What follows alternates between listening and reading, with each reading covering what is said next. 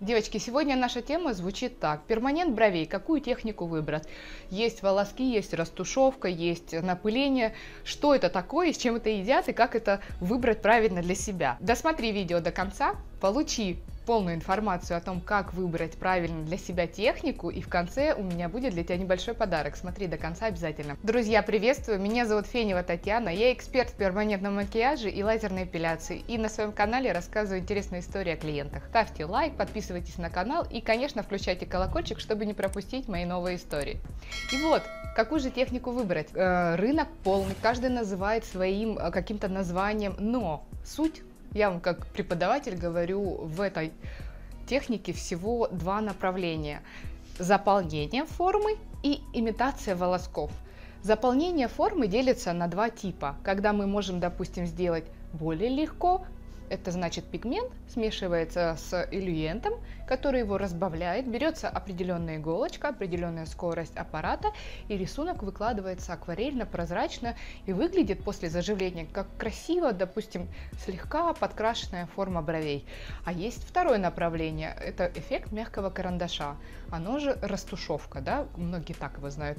Растушевка это когда мы берем чистый пигмент, берем определенную иголочку, не разбавляя пигмент, выкладываем форму по-разному. Кто-то любит поярче, кто-то понежнее, дело вкус. Третье название, которое да, не так, скажем так, давно на рынке, но очень стало популярным, метод волоски.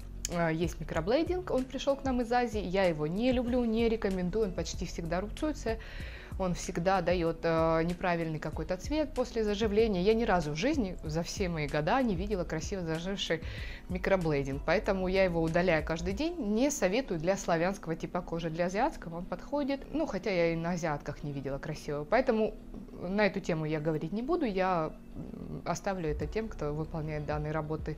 А вот аппаратная техника волосков – это моя любимая, мой конек. Я всегда делаю красивые прозрачные работы. У меня почти все клиенты когда приходят, они говорят, я хочу ваши пушистые брови, они такие нежные, они дышат. Да, волосковая техника самая лучшая, на мой взгляд, для славянской кожи, э, выполнена на аппарате. Почему? У женщин славянского типа по генетике не заложены густые брови, густые ресницы, волосы, как правило, приходится добирать за счет акцентов. Вот здесь круто можно расставить акценты незаметные для всех. Можно, если нет уголовки брови, сделать несколько волосков наверх, и она уже пушистая. Если у вас прямые бровки и хочется сделать взлет, да, как будто бы приподнять апекс, разгрузить взгляд, несколько волосков, и это все исправится. Если у вас не отрастает хвостик, если он не сформирован, или с одной стороны есть, с другой нет, это тоже сделают волоски, но незаметно для всех остальных. Поэтому техники всего три даже можно сказать две. Это растушевка и волоски. И третья, можно сказать, техника, это когда мы их комбинируем, допустим, в начале брови выкладываем волоски, а хвостик запыляем, потому что там достаточно волос. Ну, из этого сделали целый э, рынок, целый большой э, магазин выбора, и клиенты теряются. Что я рекомендую? Если вы хотите, и кто-то вам нравится из специалистов, и он как-то называет свою технику, посмотрите его работы и запросите его работы в оригинале. Не те, что в Инстаграме, не те, что представлены, допустим, как реклама. На рекламу всегда идет работа самая красивая. Но вам ходить с этой работой не только первый эффект, какая она вау, красивая. Ваша задача сделать работу и жить с ней. Запросите работу, пришлите э, работу, которая вам понравилась, и скажите, дайте мне ее зажившую посмотреть. И уже делая анализ, посмотрите, если эти работы э, как изначально красиво смотрятся, так и в конце красиво заживают, к этому мастеру записываетесь и идете на консультацию. На консультацию по типу кожи, по тому состоянию, в каком находятся ваши брови, он уже вам подскажет, как быть, как правильно, то, что подойдет индивидуально вам. Если же мастер не может предоставить зажившие работы по вашему цветотипу, по вашей структуре, э, каждый из нас может себя сфотографировать и отправить, и у мастера, у хорошего, должно быть э, тысячное портфолио, где он наверняка такие же фототипы делал, как и вы.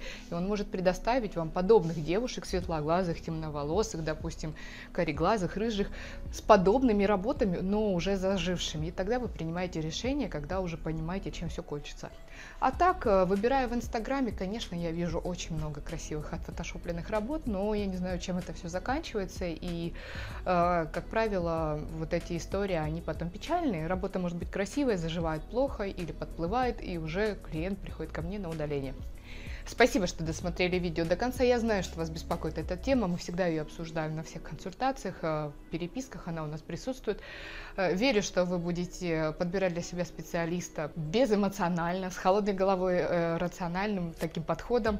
И тем, кто у меня будет удалять перманентный макияж, хочу отметить, что когда ко мне клиент приходит на исправление, на удаление, я свою работу делаю комбинированно. Если требуется удаление, я бесплатно провожу удаление и затем делаю перманентный макияж. Это мой подарок вам. Я хочу, чтобы вы были счастливы и всегда имели такой спокойный, холеный, красивый, ухоженный вид и просыпались по утрам счастливые. До встречи в кабинете, до свидания.